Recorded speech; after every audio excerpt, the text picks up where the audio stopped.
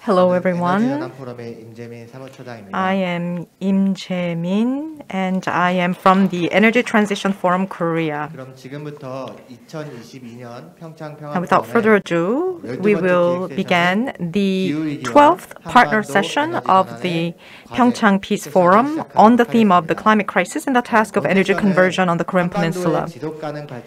This session will cover topics that uh, are connected closely to the sustainability uh, on the Korean Peninsula.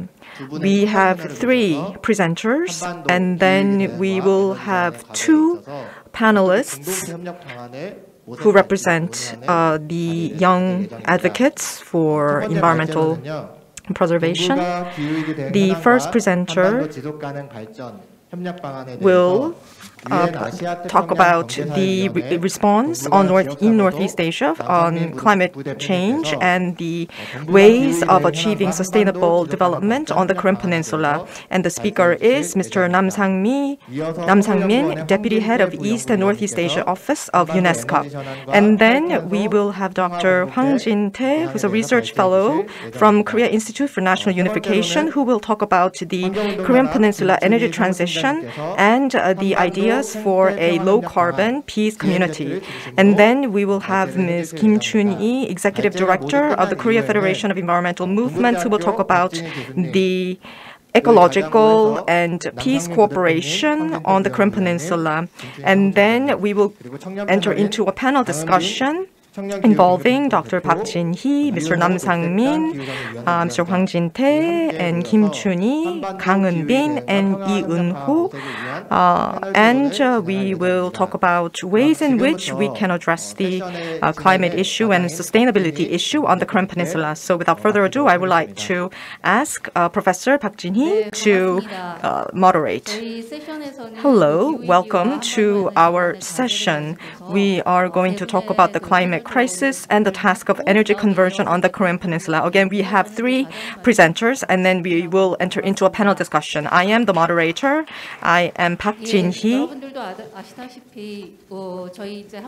As you know, the Korean Peninsula is, of course, not an exception to the climate crisis. It's a very urgent situation that we have uh, on this pen- uh, peninsula.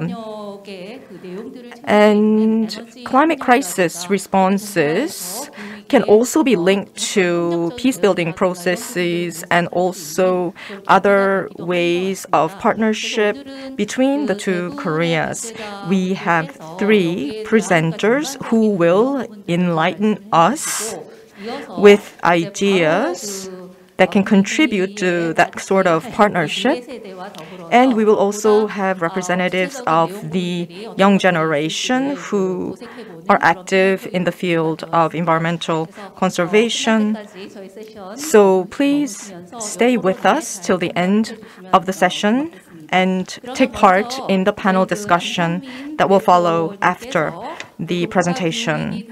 Um, our first speaker is Mr. Nam Sang-min, Deputy Head of East and Northeast Asia Office of UNESCAP. Uh, each presenter will be given 15 minutes. Uh, Mr. Nam is connected online. Please, Mr. Nam.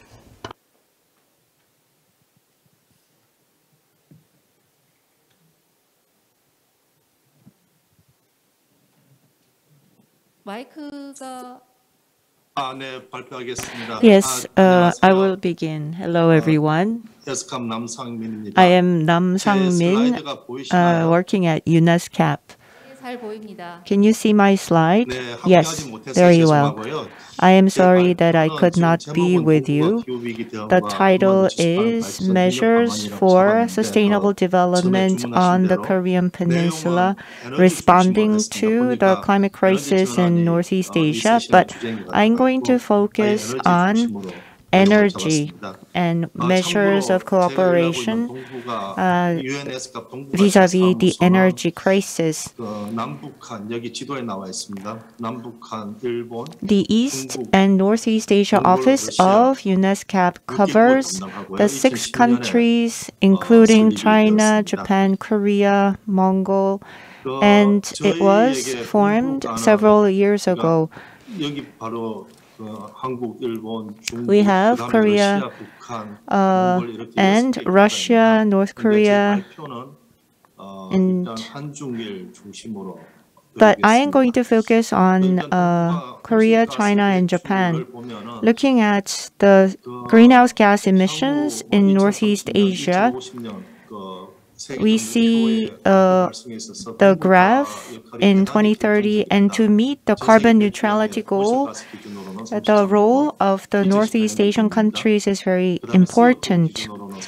Right now, Northeast Asia emits 33% of the world emissions and 40% of the global CO2. But fortunately, Korea has been curbing the greenhouse gas emissions. But compared to 2018, in 2020, there was a 10% reduction. But is this a downward trend or is it just temporary? We have to wait and see.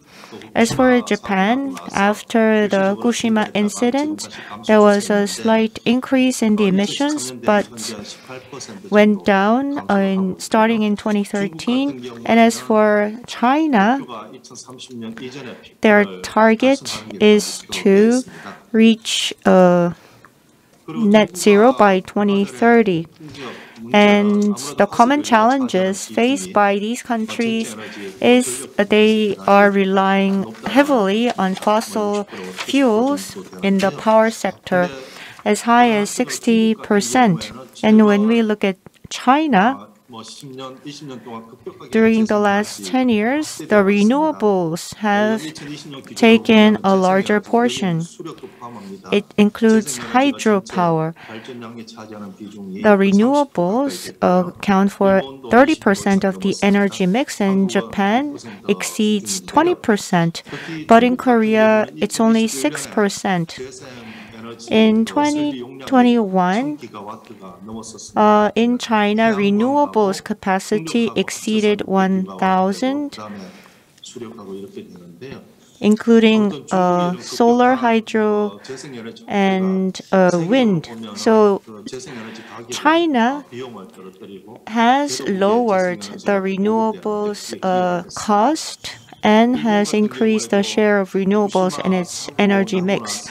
After the Fukushima incident in Japan, the uh, renewable sector grew in Japan.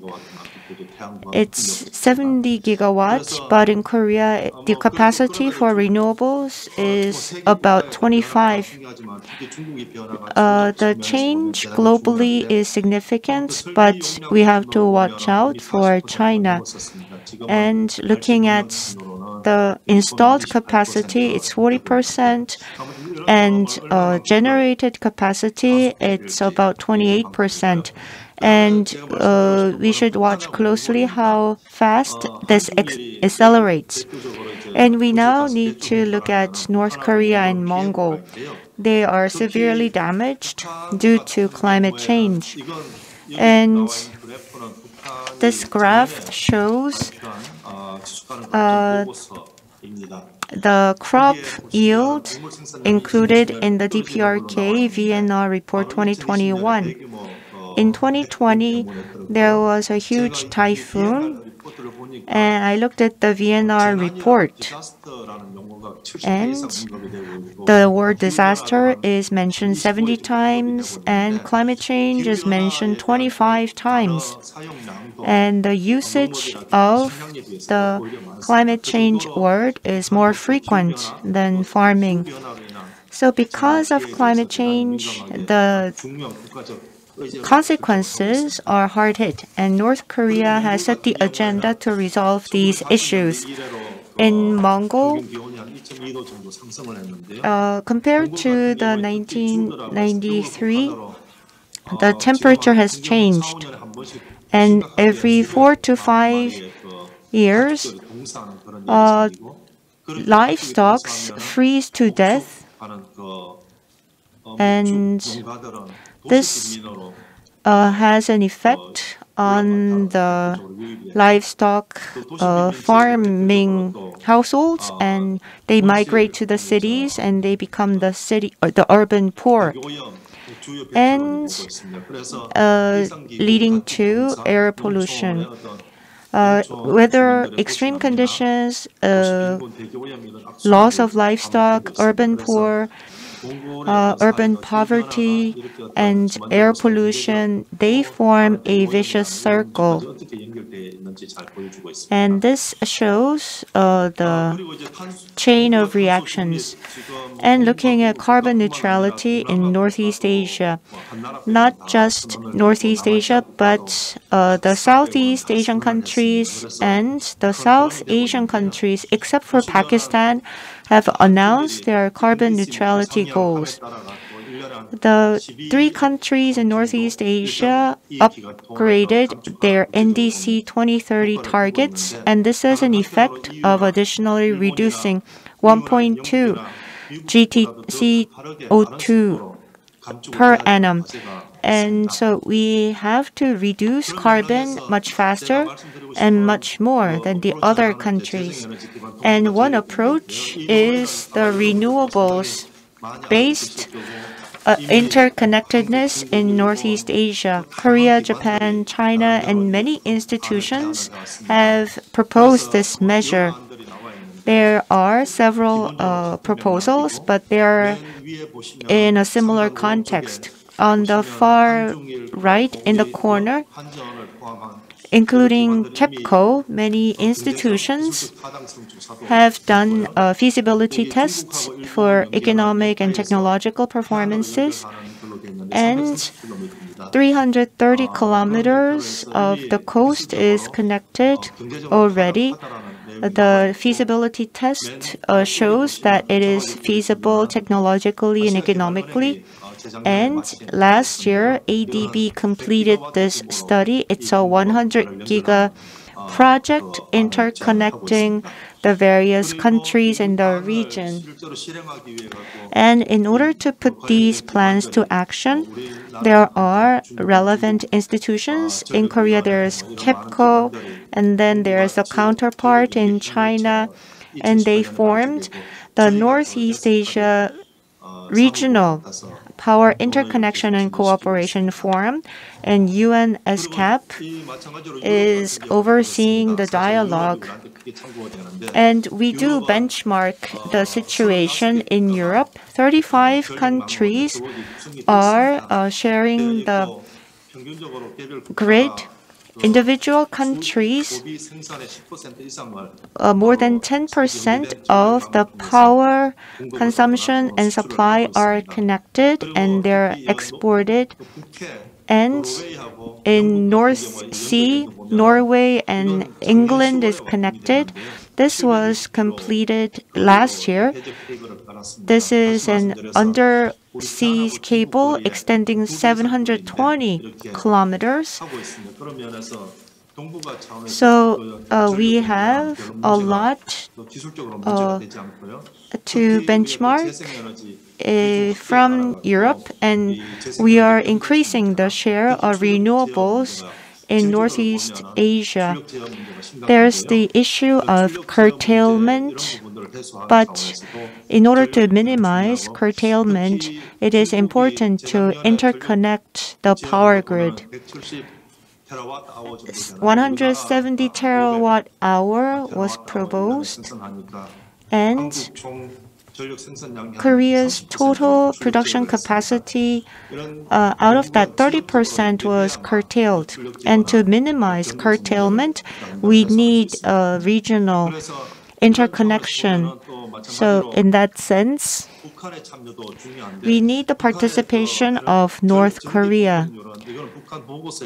This is written in the report that they published, that World Bank published. Electricity access is 34.6%, and other countries have low access, Papua New Guinea, but their access is in the 70% range. And compared to these countries who have low electricity supply, North Korea is even half of that with their very low 34.6%. And another area of cooperation is uh, renewables. And in 2016, uh, North Korea NDC is talking about uh, the amount of renewables energy that they want to expand, and they're talking about the relevant cost. So they're making internal investment and they're refurbishing the relevant systems. And so improving the energy efficiency is a very important task. And we need North Korea to participate in the Northeast Asia Energy Interconnected Forum. Uh, North Korea is working with China in co-generating uh, power. There are uh, hydropower plants alongside the China North, North Korea border. So uh, it's a 50-50 power sharing. The six water dams produce about 1.8 giga. So it does if it has the will to participate in the Northeast Asia Energy Interconnected Forum, then I think it is feasible. And this uh, graph is showing the GEI DCO proposal of how the Northeast Asian countries can cooperate. With this, I'd like to conclude. Thank you. Thank you very much. Uh, you talked about the possibility of energy conversion through renewables and interconnection. And in relation to that, you talked about potential energy cooperation on the Korean Peninsula, and you shared your experience with us. And next, our second presentation is also concerning the issue of energy, but it's a broader topic uh, because the topic is energy transition in Korean Peninsula, low carbon peace community. Uh, so on that, Mr. Hwang Jin-tae will deliver his presentation. Hello, I am Hwang Jin-tae. Uh, I belong to, I'm a research fellow at the Korea Institute for National Unification.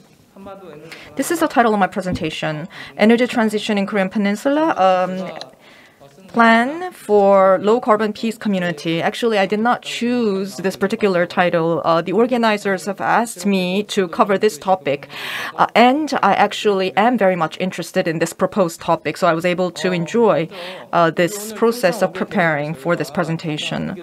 We are here in Pyeongchang. It's a very nice place in terms of the quality of air and its nice natural surroundings. But um, it is also the venue of 2018 Pyeongchang Winter Olympics. And as you can see in the picture here, you know, during that Winter Olympics, there was this uh, expectations of thawing of relationships, as you can see in this picture, where the two leaders were uh, quite friendly.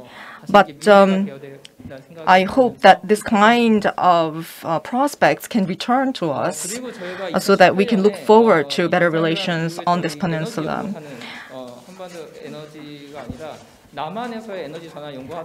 And uh, the scholars and researchers who were studying the energy transition here in South Korea uh, decided to look into the energy transition topic across the Korean Peninsula as they saw the thawing of relationship uh, years back. So this particular book, which says Energy Transition on Korean Peninsula, uh, this book was published.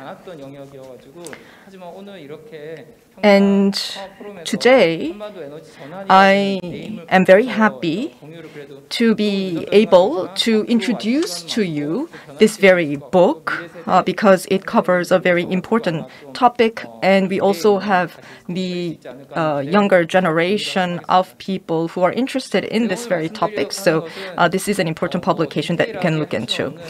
Now, I don't have enough time to actually go into the details of the uh, potential creation of an energy transition uh, based on peaceful uh, community building. Uh, so I would like to first touch upon just the three obstacles that undermine creative approaches to energy transition on the peninsula.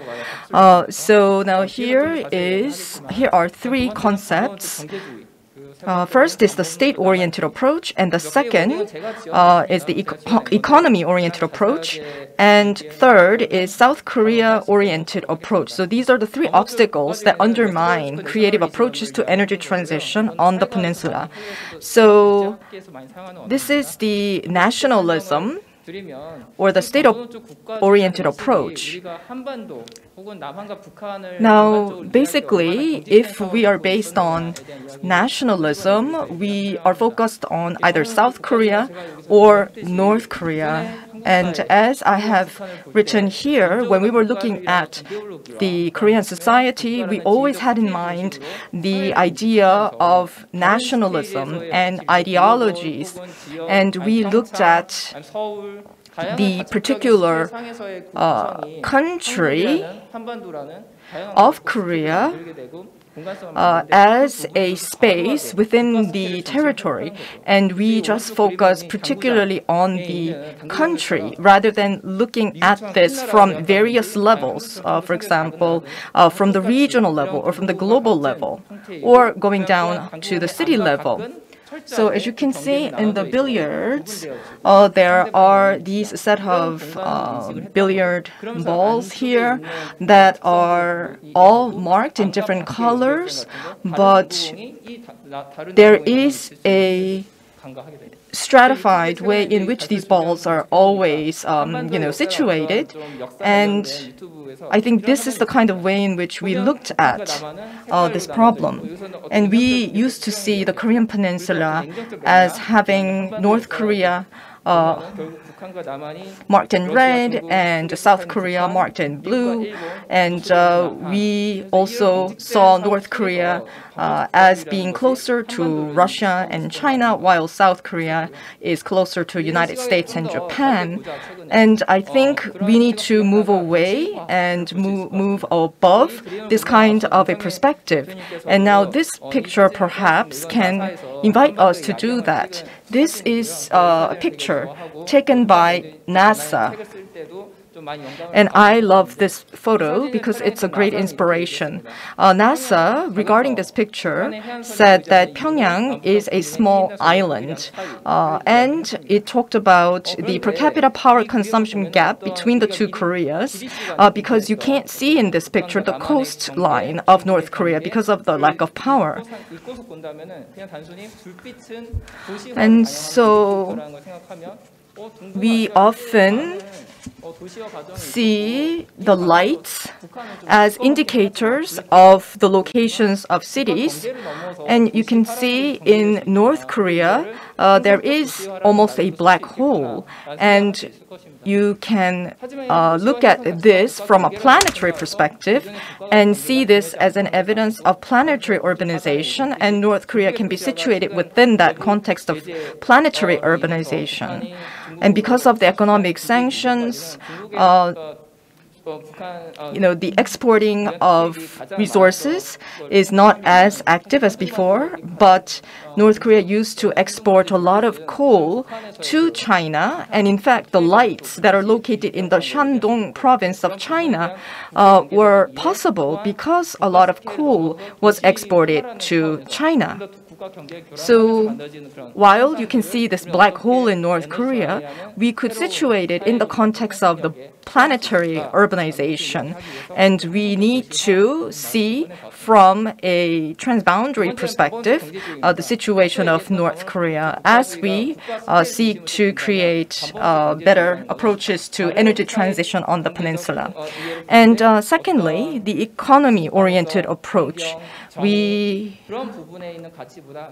often place economy above other values like justice or the environment. So I just uh, wanted to summarize that in the term economy oriented approach. So from this approach, we often see North Korea as a rich reserve of natural resources. Even the more progressive papers like Hankyoreh uh, described North Korea as a, um, a place of rich natural resources, uh, and they described North Korea as having Samsung and Hyundai underground. So that's the way in which we saw North Korea. And also, there was a plan for building a peace power plant that was part of the plan uh, created by the South Korean government to build such a power plant along the border area.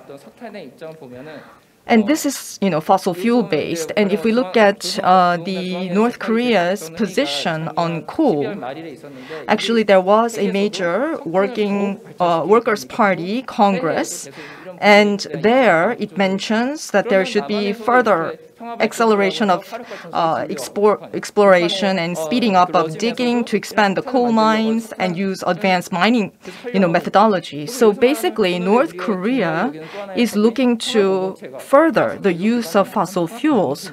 So we have to think whether this peace power plant plan should be based on such fossil fuels.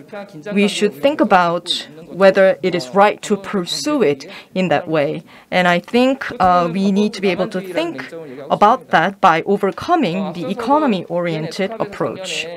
UNESCAP uh, published a report on the supergrid plan, as was mentioned by Mr. Nam just before, and SoftBank is a sponsor of that plan. Uh, founder of SoftBank, Mr. Son, actually proposed this Asia Supergrid plan, and the Moon Jae-in administration uh, also participated in a meeting with Mr. Son uh, to talk about the idea of supergrid plan. The Asia Supergrid uh, uh, just before was mentioned that there is economic uh, viability and feasibility, but again, there is a lack of understanding of the differences in the capitalist and socialist systems, uh, and there is this preoccupation with economic growth, and there is this lack of consideration of alternative transition pathways, and there's this focus on just expanding uh, the infrastructure. And so these are some of the limitations of the Asia Supergrid plan as was proposed um, and discussed in Korea. So we often think that we are the only ones that can you know, design the plans for further development and that we should take the initiative. But I think that South Korea oriented approach is very limiting. So I would like to throw out to you a couple of ideas for you to think about. And then I would like to hear a feedback from our panelists. So I have some concrete and also actionable imaginative visions. And my first idea is to maybe just leave the coal underground in North Korea. So maybe I will just touch upon the third bullet point here. So often we look at this picture and think that North Korea is just underdeveloped. And to have more lights on uh, the North Korean territory is the better uh, improvement. And that would mean you know, expansion of peace and uh, positive development. But you know, there is the issue of Anthropocene and uh, low carbon goals that we need to think of. And instead of trying to develop the fossil fuels in North Korea to boost economic growth, I think we should uh, think about the environmental impact of maybe keeping the coal underground in North Korea. And that could actually gain greater legitimacy uh, for the idea of creating a peace community on the Korean Peninsula. Uh, so we see these activities in other countries to keep fossil fuels in the ground. Uh, so I think we could potentially uh, try to manage the fossil fuel reserves of North Korea as a commons. Now, my second idea is uh, perhaps to encourage and support the decentralized energy transition in North Korea. Of course, North Korea uh, talk about the energy transition in the broad sense, but it is not really taking place across North Korea. And because of sanctions and also underdevelopment, uh, it was very difficult for North Korea to establish the necessary infrastructure. Whereas in Korea, there's KEPCO that uh, is able to build a centralized infrastructure. Uh, this in turn means that decentralization of the energy transition is actually more possible in North Korea because there is no centralized infrastructure in place. Uh, so we need to think of this potential. If we look at some of the documentation in North Korea, there is the Renewable Energies Act that was instituted in 2013, and also uh, newspapers like the Labor uh, newspaper uh, talk about the need to uh, create an integrated power management framework. And since the 1990s, after the arduous march, according to Dr. Kang's research, individuals have been individuals have been using energy in various ways to make up for the lack of energy provision by the government. And so South Korean government should think about how to help the decentralized energy transition in North Korea. uh, taking into account the actual situation in North Korea. So we need to understand the real situation on the ground. So you can see the picture in on right. Uh, they're actually carrying, you know, uh, barrels of propane gas. So we need to take into account these real situations and become real partners and supporters uh, for a meaningful energy transition in North Korea.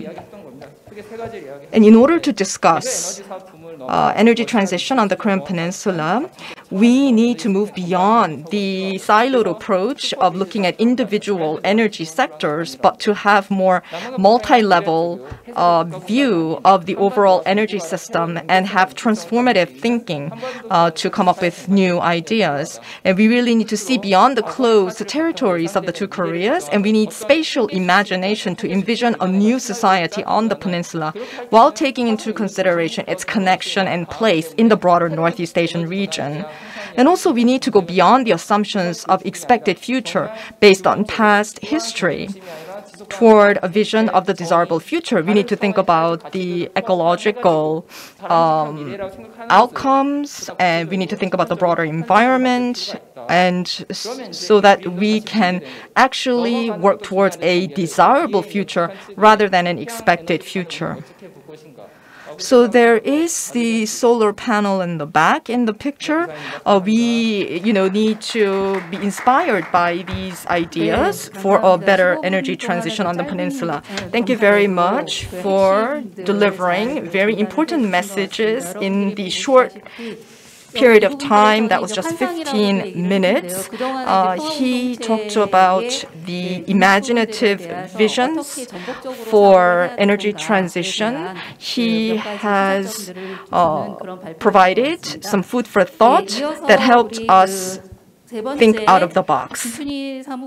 And the third speaker is Executive Director Kim Chun-ee of KFEM. She's going to talk about the preservation of the environment around the DMZ area. I am going to present a different topic from the earlier presenters, but I am going to talk about the preservation of the ecosystem. And I'm going to focus on the area near the civilian control line. Uh, you're familiar with the map of Korea. We are a divided nation, and there is the bound, the border line. The, we have this four kilometer area of uh, DMZ, and from Gyeonggi province to Gangwon province, we have this control line against citizen or the CCL uh, uh, or the CCZ civilian control zone. Why is the region important? I'd like to focus on the western part of the CCL. As of now, the blue colored area is the breeding range and the red area is the wintering range. And we have the red crowned crane, which is referred to usually as the crane. And we have the white naped crane, which is the black colored crane. And in North Korea, uh, they call it the white crane instead of red crowned crane. I think we need to come up with common uh, terminologies uh, for these uh, animals. In Mongol, red-crowned and white-naped cranes breed, and from October to March, they fly down to CCL. Why do they migrate southward? Does anybody know the reason? Why don't they live up there and travel downward?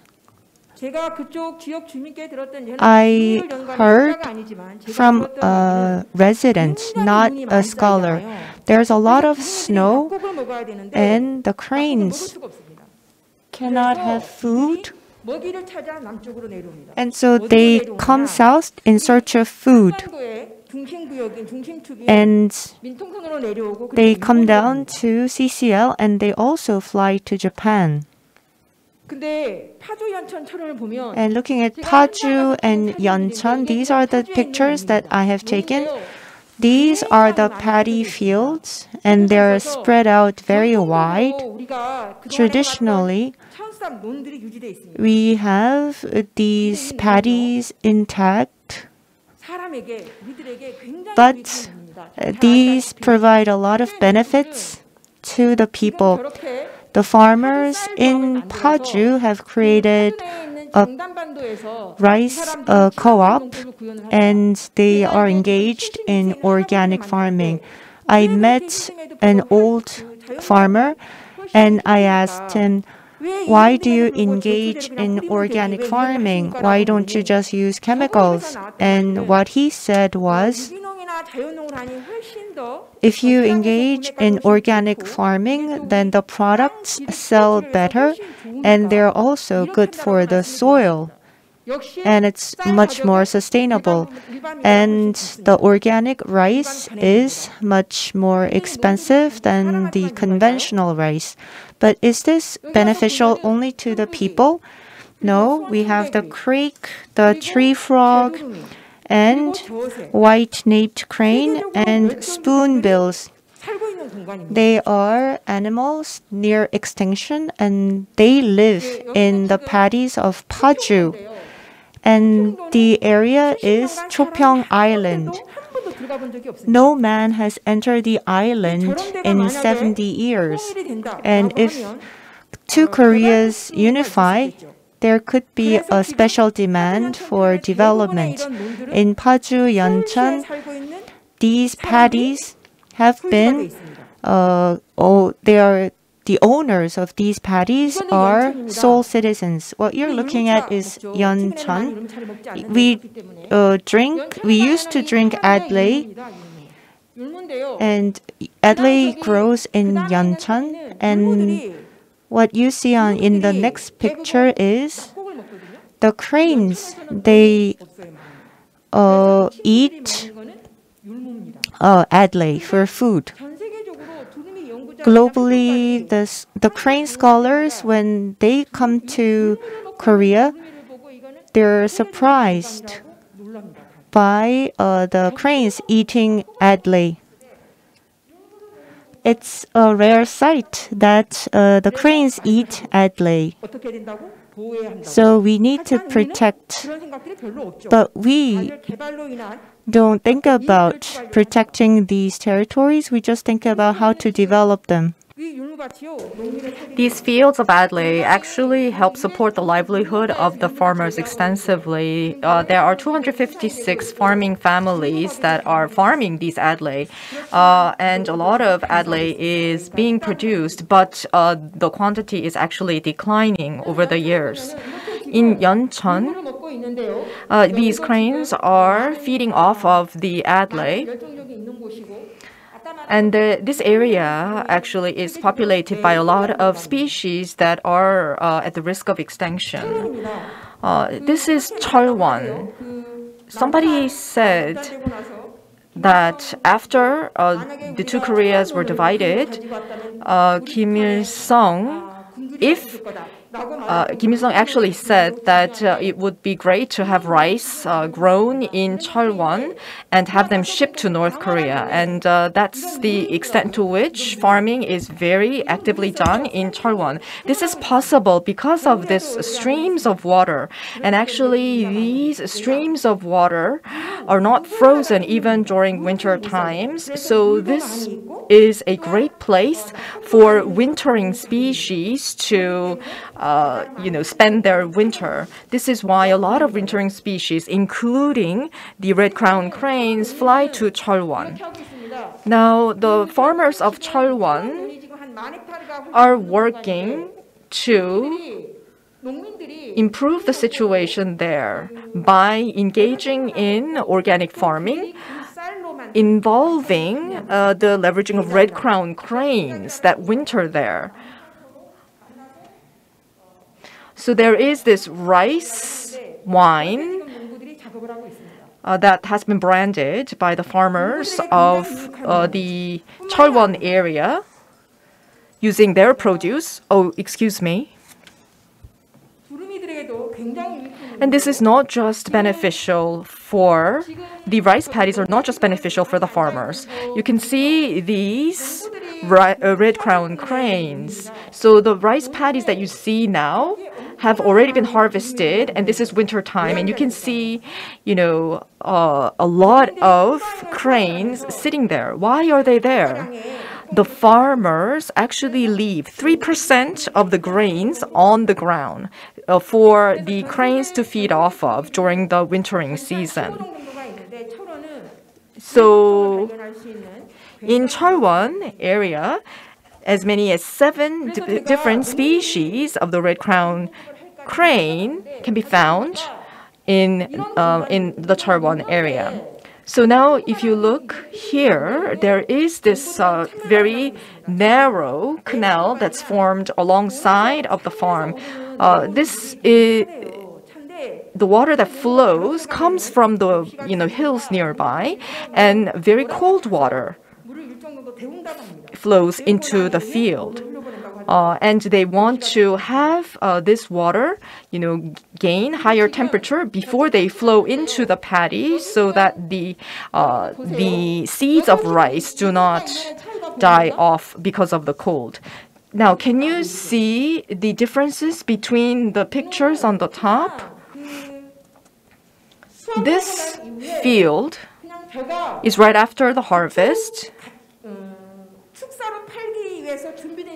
And uh, the stacks of straws are there. left for the so on the right we have uh, the field that is just there uh, leaving the straws for the animals to feed off of. and on the left side you have stacks of organized straws and uh, you see here how the paddies are filled with water by the farmers in order to help the cranes to rest and relax during winter time. Why do cranes prefer to rest in areas with a lot of water? Why do you think they do so? because because the sound of water can help them uh, protect themselves from natural enemies because they can you know hear the steps of you know nat- other species that may attack them as they walk into the water. So this is why the cranes uh, try to relax where there's a lot of water and then they after wintering they leave uh, the Taiwan area in March. Now on the right hand side at the bottom, there is a picture of a natural canal that has been formed. And this helps the cranes to rest and survive the winter. In Yeoncheon, starting from April last year, the National Farmers Association and the farmers in the Yeoncheon County worked together to create rice paddies. And the rice produced from these new set of paddies uh, originally uh, were planned for delivery to North Koreans to support them, but the North Korean government said it's okay and uh, they will not uh, receive uh, this rice. So now it's being used to support the the people who are under economic stress. I do not know why the remainder of the presentation has disappeared. Actually, I have more slides.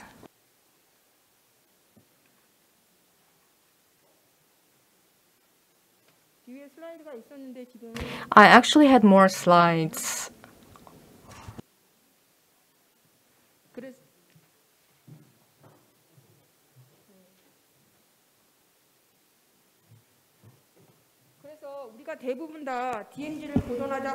So we talk about conserving the DMZ, and to do so, we need to protect and preserve the uh, CCL, and we have to protect and preserve the rice fields. That is very essential to any sort of preservation effort in uh, the DMZ. We believe that uh, this can provide a very good opportunity for exchange between North and South Koreas.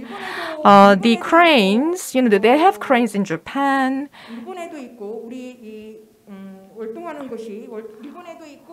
So there are wintering ranges for cranes in Japan and also uh, along the CCL. Uh, but actually, you know, the cranes that come to the Cholwon area are true migratory birds, whereas in Japan they have sort of settled, make th made themselves settled uh, in Japan. So in that sense, the cranes that have migrated during winter times to Cholwon are very special in that regard.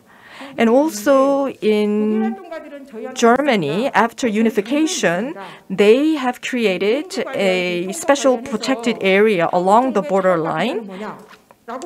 And they actually are interested in understanding what the South Korean government's plan was to preserve the DMZ area. Uh, because the South Korean government initially uh, set aside a very slim zone of protection. But we have been working hard to push the government to expand that protected zone along the DMZ because previously, the government was more focused on development of the land. Uh, right now, we are unable to engage in active talks with our North Korean counterparts, so at least we would like to continue the discussion with the South Korean government. So we want to have a clearer vision set forth by the Korean government to preserve the area alongside the CCL and the broader DMZ. And we need to have a special act to make this possible. The National Ecological Institute uh, conducted a research on the ownership of the land in this area, and uh, it appears there are some uh, very tricky issues that need to be dealt with. But anyway, the government should really take the initiative to preserve this area. I mean, there are a lot of state-owned land, so at least we could set those state-owned land as protection zones. Uh, and of course, there are privately owned land as for those privately owned lands, uh, I think the government should get involved and try to designate these areas as, you know, areas for preservation of these different species and the environment. And we want to co-work with the government in this endeavor. Thank you very much. Thank you very much. Uh, Ms. Kim talked about why the rice paddies alongside the CCL need to be protected.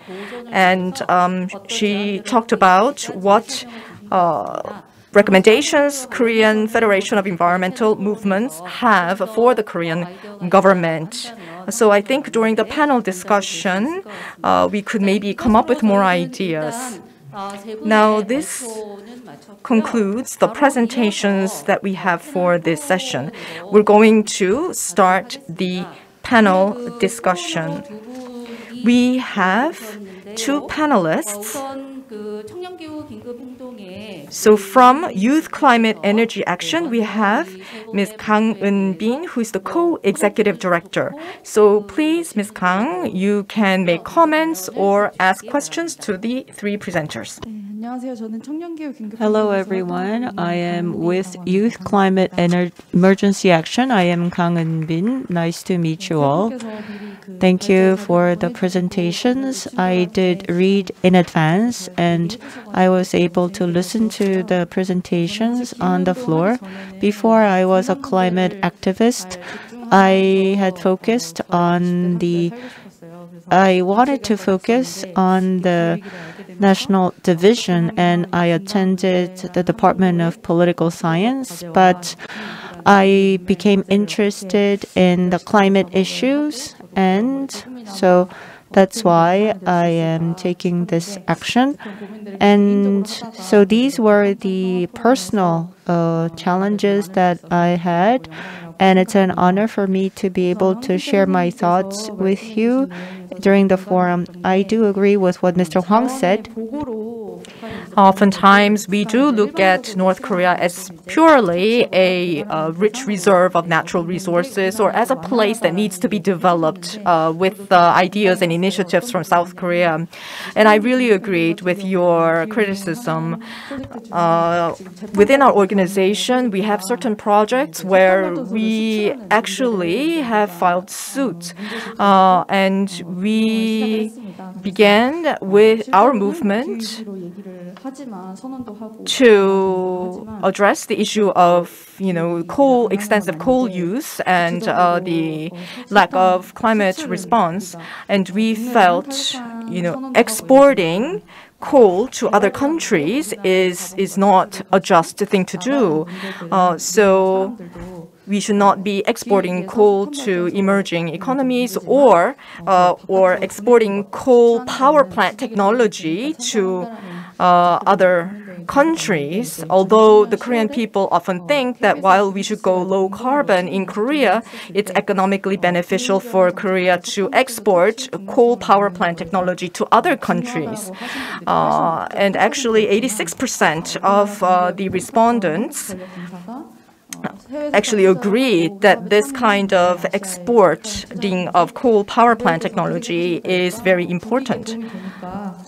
Uh, but then we are continuously seeing a decline in the number of people who are supporting this kind of idea just based on the national interest. Uh, we need to continue to be able to see environmental issues uh, as a priority, uh, perhaps over uh, serving national interest. So, in terms of institutions, you talked about, uh, you know, managing the, you know, resources in North Korea as commons, and I also think the idea of commons as a great strategy. So, can you be more specific about managing this as commons? And Ms. Kim, you proposed a number of things toward the end of your presentation. Based on my understanding of the concept of commons, it's not really state owned and it's not owned by the market. But there are constituents in the society participate in the development and the use of and the preservation of the commons. So I think that is the essence of the commons movement. So in that regard, Ms. Kim Chun-yi, your focus was more on the state-driven approach to preserving the environment. But the Minister of Environment and the current Korean administration continue to carry out projects or condone projects that have environmental impact. So given this situation, do you think it is possible to have state-driven efforts to preserve the natural environment? Do you think by having new legislations and state-driven efforts, uh, do you think these efforts are enough or sufficient to preserve the natural environment? Uh, don't you think that perhaps we can come up with more imaginative and alternative ways of preserving our natural environments? So, do you have any ideas that can be alternative to your suggestion of a more state driven protection of the environment? And uh, you also talked about how people uh, who have ownership of the land in Paju, who are waiting for the development of that land for great economic gain. So uh, can you also touch upon that a little bit more? And uh, I have a question for Mr. Nam Sang-min, the first speaker. Uh, the inter-Korean uh, cooperation may be sensitive to political changes, and some people may be frustrated. Why isn't this working? Four years now, it seems like it was a past dream and no progress has been made. But the UN is an international organization which is neutral and could be independent uh, from these uh, changes in the atmosphere. So both Koreas are members to the Paris Convention. And do you think establishing the channels could promote cooperation, maybe not relying on the leadership, but having uh, closer ties at the grassroots level? Uh, maybe the UN could provide a channel between the youths between the two Koreas, and is that a possible solution? Thank you. Thank you very much. Uh, Executive Director Kang has given questions to each speaker. We will listen to the responses first and then invite more questions from Chairperson Lee Eun-ho of the Green Party. Mr. Nam, would you like to answer the question? Please go ahead. Uh, Executive Director Kang, thank you for the question. And I also have a comment to make on Mr. Hwang's presentation. Going back to the question in 2018,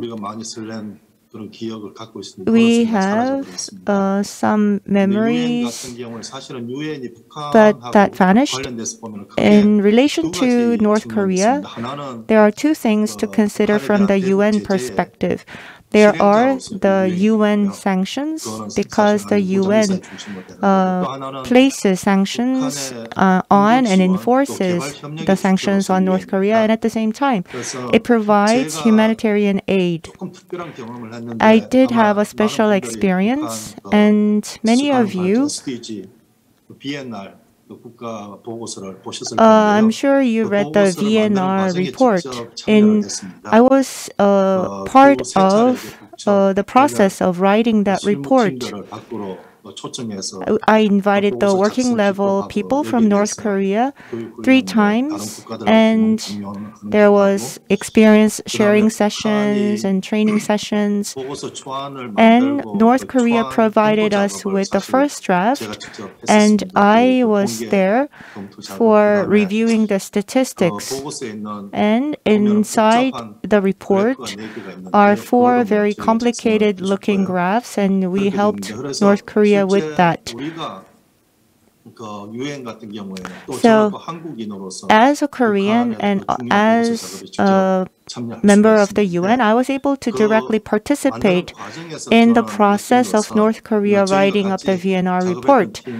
And uh, it was the Ministry of Interior, the Statistics Office, the North Korean Academy of Science, and I was able to feel how serious they were about sustainable development. And uh, climate change appears 24 times, and disaster appears 74 times in the report. So I could feel that the problem was dire. And as for the Academy of Science in North Korea, I was uh, feeling their uh, concern coming from the scientists. And they are uh, talking about follow up projects, but because of COVID 19, there is no exchange of people, so there, it has been put on hold.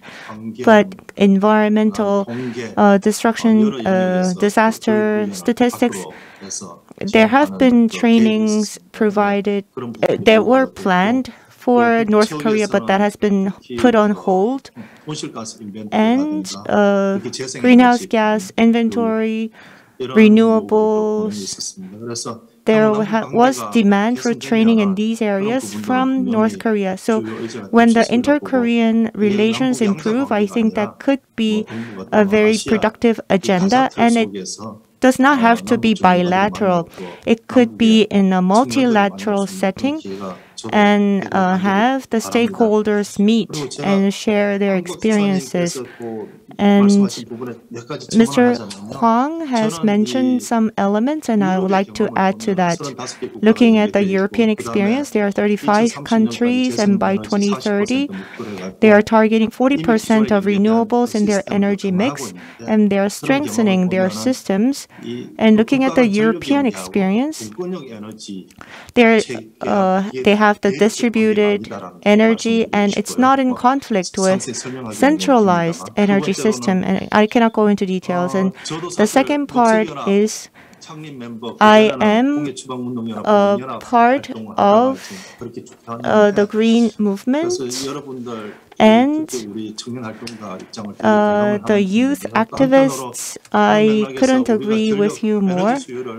And we need to reduce the energy demand and increase energy efficiency. That is a must. But electricity usage is bound to increase because uh, energy for transportation, for home use, and industrial, most of the energy is in the form of electricity. We have 129 gigawatt and and it can only increase.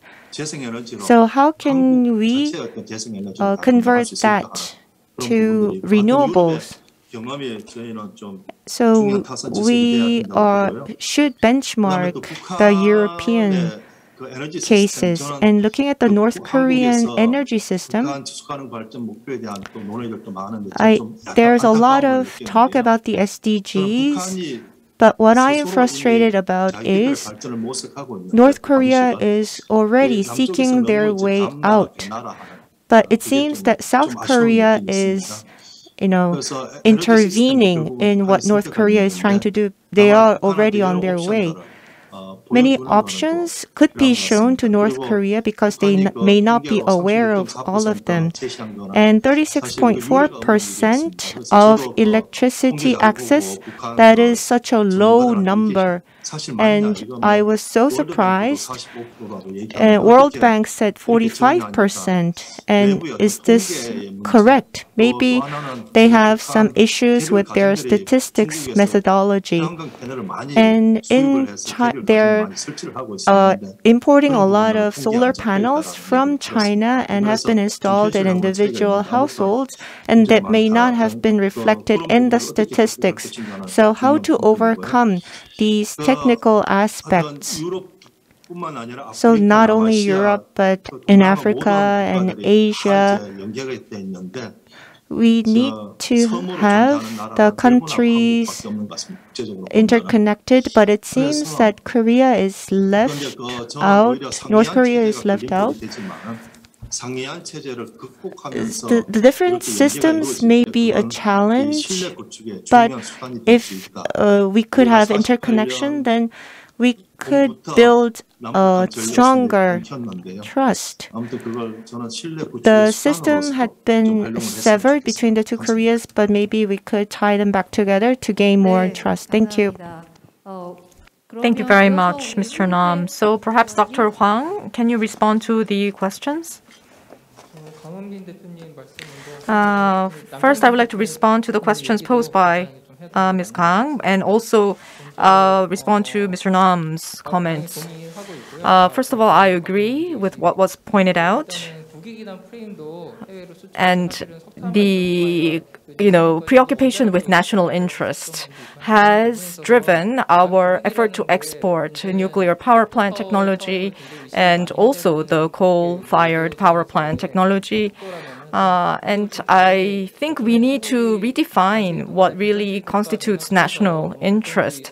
We have been sort of a developmental state, and I think that philosophy still remains with us in some sense. So sometimes we try to, you know, migrate and export industries that we cannot really ethically pursue on the Korean Peninsula and have that uh, prosper in other countries. But I think we really need to rethink what constitutes natural or national interest. And with regards to the DMZ, uh, the presentation about uh, Ms. Kim Junyi uh, and uh, Ms. Kang asked about the commons concept. Well, we need to think about whether North Korea can really take the initiative in leading their energy transition. And I think uh, there is an effort to look at the globe as an entirety. We often focus on the humanity. And I think there is a question that we need to ask about whether human beings are the only true agents uh, on this globe. Uh, we should think about cranes and other species. Cranes should not be seen just as a, an opportunity for marketing the area or branding the area. Uh, perhaps uh, these cranes can really contribute uh, to the promotion of peace on the peninsula. And I think that sort of an approach is possible when we look at the commons concept. So beyond going uh, going beyond the concept or the focus on humans, uh, you know, we should really approach uh, these issues from a commons perspective. And uh, Mr. Nam uh, made certain comments. Well, actually, I had to make very simplistic presentation in the interest of time. So perhaps that is why, uh, you know, there were certain issues that uh, Mr. Nam pointed out. Uh, well, in Europe, supergrid initiatives promoted by Europe, you know, Morocco, for example, were excluded in the initiative, and the residents of Mor- Morocco were kicked out of the area. Of course, this cannot be overgeneralized, but we do need to look into the certain limitations or side effects of, you know, supergrid. Instead of just saying supergrid is the only solution uh, for this energy issue, we should look at uh, certain limitations or consequences. And we need to take into consider, for example, on the Korean Peninsula, uh, different possibilities. And I think uh, you know, we have the technology to encourage decentralized uh, energy system in North Korea. So I think we should look into that uh, because North Korean officials already have certain ideas for their energy transition. And so instead of just passing advice to North Korea as if we know everything, we really need to be humble and modest when we discuss these uh, issues with North Korean counterparts. I mean, these are very important issues, and I think we need to be wise in our approach. And the VNR report, uh, I know you participated in that, so you probably know this very well. But um, North Korea, when producing the VNR uh, effort, uh, VNR report, I think uh, this created a very good momentum for North Korea to really take the initiative effective in dealing with the energy transition issues. Thank you, Ms. Kim. Uh, yes. Uh, thank you for the deep and uh, profound questions from Mr. Hwang.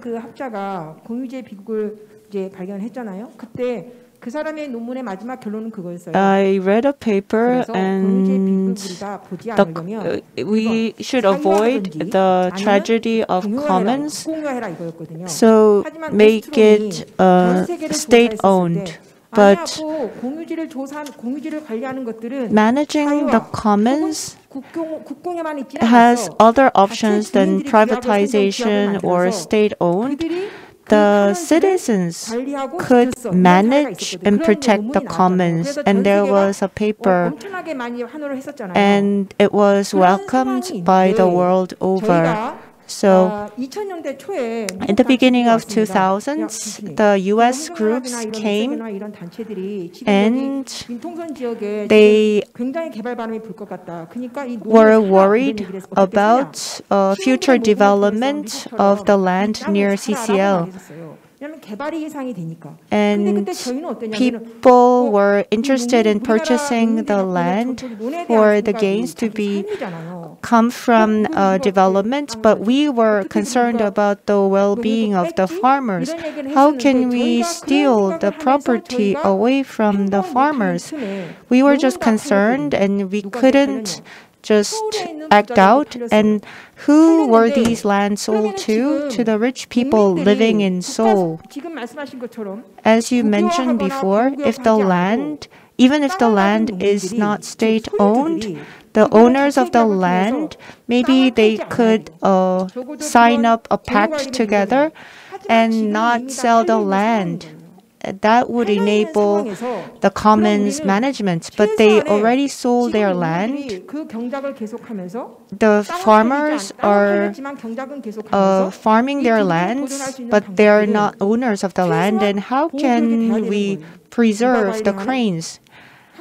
It needs to become a reserve, and this needs to be managed by the Ministry of Environment, maybe the Ministry of uh, Interior, Ministry of Defense, Ministry of other areas. They are not interested because they are not interested in the protection and preservation of the ecosystem.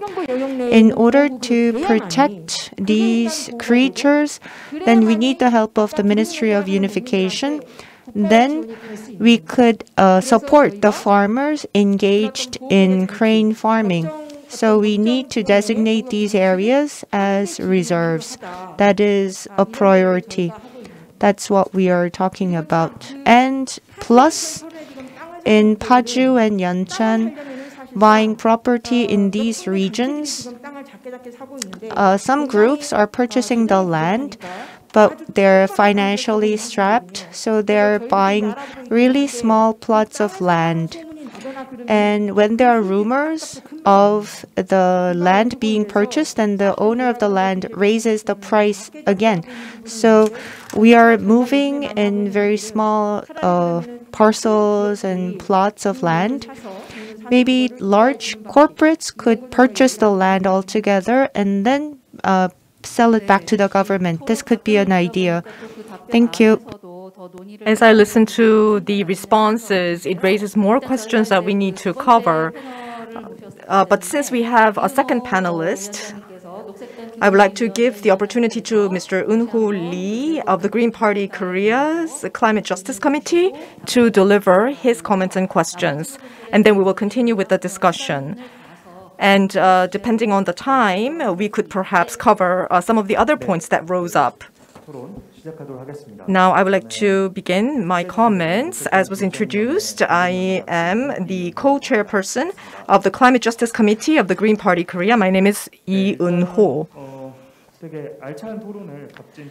I think this was a great session and a very good discussion is taking place. I learned a lot. And I actually have some of my questions answered already. And I think the Peace Forum has taken a great step in, talk, talk, in talking about the climate change and energy transition on the Korean Peninsula.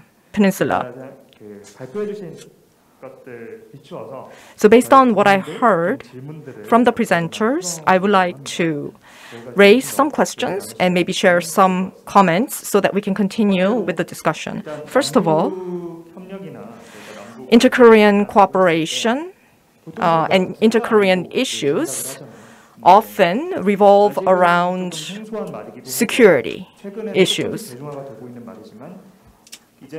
But uh, we are now thinking about even ecological security, although this concept is not as familiar to everyone. Especially in the age of the climate crisis, we really need to overcome our past traumatic experience of a civil war and try to work together between the two Koreas to preserve the ecosystem on the peninsula and respond effectively to the climate change crisis. So I think that is the approach that we're taking at the Green Party. So from this ecological security perspective, we need to pursue energy transition, both in South and in the North. So it's not a simplistic energy transition that I'm talking about. As was mentioned by the presenters before, carbon, coal, and gas, fossil fuels, uh, we've been extracting these resources and we've been depleting these resources. And by doing so, we've been supporting the carbon civilization. But in order to respond effectively to the climate crisis, we need to really change everything about our lifestyle, including our daily preferences. So my first question is this. Uh, actually, maybe, um, I don't know how to put this, but maybe uh, objective management or target management. So when the two Koreas uh, do achieve unification, how can we manage our climate control goals effectively? Uh, and actually, uh, North Korea uh, proposed plans to build more coal-fired power plants, and uh, South Korean side has proposed the peace power plant. Uh, in my case, I actually, uh, you know, participated in a hunger strike for 14 days in lieu of P4G. And there are 10 major power plants uh, actually, at least uh, uh, a lot of the power plants um, that are being constructed are almost completed in South Korea. But if we are to unify, we may actually need to work together with our counterparts in North to set better targets to budget our carbon use better. So how can we effectively do this is one concern. And also, the model is another issue. I mean, there was the decentralized energy transition model that uh, was talked about. And uh, Kim Chun-hee talked about the grassroots approach. Well, although it's difficult to say a completely state-owned, uh, you know, approach, we do have the uh, company KEPCO, and it is suffering a significant uh, deficit. It's a centrally run corporation, and they provide compensation for the power plants and also the power producers, allowing the consumers of electricity to use power in a relatively affordable way. So, in this context, how can we achieve better decentralization going forward? I mean, there are energy centers being built by the different local governments, and the Ministry of Trade, Industry, and Energy provides some subsidies, but it's not enough. So we really need to uh, think about better ways of decentralizing the energy system, and perhaps some uh, people on in this session could share some ideas. And my second question is about uh, the issue of language and also uh, the way we see North Korea. In South Korea, as a democratic state, there are a lot of conflicting views and uh, different opinions about the renewable energy. So, what sort of language can we use to address these issues? So, some of the local residents are not really used to the idea of using renewable energies. And in the cities, uh, they often see these transmission lines that they feel hurt their environment. So if we are to, you know, promote something similar in North Korea, what sort of language can we use to, you know, present these ideas? And also, as Ms. Kang suggested, how can we effectively interact with the youth in North Korea? Uh, President Moon at COP 21 suggested that a global youth summit should be launched. And if such a summit is organized, uh, will we be able to interact with young environmentalists from North Korea? Could we communicate effectively? Using what sort of language to discuss these issues? These are some things that I think about a lot. Now, my final question is about just transition and balanced regional uh, development. When I say balanced regional development, uh, oftentimes people when they talk about regional balanced development, they think about building new airports or building a new power plant. But I don't want that sort of balanced regional development to take place in North Korea. So if we want to transition our energy mix towards renewables, what sort of profit sharing or benefit sharing can we have? So we need to work towards more just transition and the benefits of the transition needs to be distributed in a more equitable way. So uh, these are the three questions that I have for our presenters. Thank you very much. There were three large questions, and each presenter doesn't need to cover all three questions but I think you can just address the questions that you feel are most relevant to your interests and concerns. So Ms. Kim Chuni, perhaps you can take the first question. Well, you talked about goal management concerning climate response.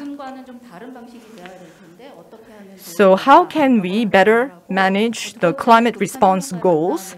And second was about interaction with the young advocates or environmentalists in North Korea.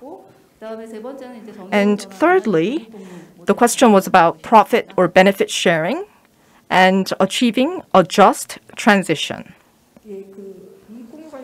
With regards to profit sharing, I think the German people, you know, uh, agree with the issue of climate change, and yet they also have a lot of negative reactions towards uh, facilities that enter their community because they might hurt the landscape and, uh, you know, cause uh, a number of issues.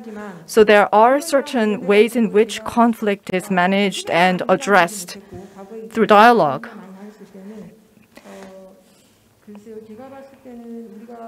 Now in Korea, I think we need to, uh, you know, increase the opportunities for hearing the voices of the local residents because the local residents have uh, previously unheard voices. And we need to open up the space for the local residents to share their concerns and share their requirements and demands. And I think we need to create that space of dialogue. And that can actually help win the hearts of the local residents uh, towards uh, better renewables uh, energy use. When coal-fired power plants and nuclear power plants were first uh, being developed in certain regions in Korea, uh, there was little resistance from the local residents because at the time, you know, there was general uh, support of the government by the local residents, thinking that you know, citizens should not really oppose the government initiatives, but now the thinking has really changed and local residents are more vocal uh, especially when it comes to labor issues. I heard that uh, in Germany, when there were large contracts with a German company, uh, certain products uh, need, can be paid for up to a certain year, but after that, if it's against the carbon neutrality goals, they will not be able to, you know, do transactions uh, about that product with the company. So there are these uh, things that are happening at the labor in the labor sector. And uh, you know, North Koreans are not very different when it comes to the real issues that they face. Uh, in their everyday lives. So I think interaction with the young people in North Korea uh, is not infeasible. Maybe at the UN level, if a UN youth summit is organized, this could be a great opportunity for engaging with the North Korean youth. There have been opportunities for engagement between uh, religious leaders, with farmers, but we have never really had an engagement with the North Korean youth leaders. So perhaps uh, we need to work towards that. I would like to comment about the question of interaction with the youth. I mean, formally, the university activists in South Korea had gone over to North Korea to engage with the students there. I mean, they, these things did happen in the past. Uh, but there are issues like the K drama and their influence on the North Korean uh, viewers and the Labor Party in North Korea have less trust and and there is uh, instability internally in North Korea trying to gain support uh, and secure uh, support for the government amongst the young generation in North Korea. So, given the situation, uh, well, it is important for us to really interact with the young people in North Korea, but realistically speaking, it's very difficult to you know meet face to face uh, with the young people in North Korea. I hope that uh, that day comes soon when we are able to talk with the young North Korean leaders. Mr. Nam, uh, yes, I did write down the three questions, but I think they're uh, difficult questions. I have not given much thought to those issues. As to uh, the global climate change, ammonia, hydrogen fuels, CCS, carbon capture and storage are topics of interest. But uh, uh, the meeting with the officials in charge has not been possible and there's no telling when I'll be able to meet the officials in charge. But what I'd like to propose to Ms. Kang Eun-bin is we now started recently uh, the carbon neutrality pact in Northeast Asia. There has been no initiative taken multilaterally because of sensitive issues. So there was no uh, initiative, but now all the three countries have come up with the carbon neutrality targets. So it was the first time that the government representatives got together last year. And in that sense, the youth could have a similar initiative. We have very active uh, youth environmentalists in China, and uh, maybe we could have the network amongst the youth in Northeast Asia, and that could be a potential idea. And uh, SDG Forum is held every year in Northeast Asia, and North Korea participates. Because of COVID 19, it was uh, an online forum, but in Vladivostok two years ago, 40 people came from South Korea. Five people came from North Korea, and there were discussions that took place. Maybe the youth groups could use that Northeast Asia SDG forum. Uh, they were not youth from North Korea. They they were officials from North Korea. Maybe you could uh, exchange ideas with them. Thank you. We dealt with a wide range of issues, but we were only given 90 minutes to this session. There could have been questions from the floor, but in the interest of time, we cannot entertain them. With this, I'd like to close the forum. Today, we've listened to the presentations and the panel discussion, and maybe you gained some ideas about how to protect the ecosystem and how to go about cooperating in energy transition. I think uh, it was a session that gave us food for thought, and in that sense, we had the chance to raise fundamental issues. When energy transition, we had uh, limited ourselves to just South Korea, but we need to think about energy transition in a bigger picture and what kind of collaboration will we need.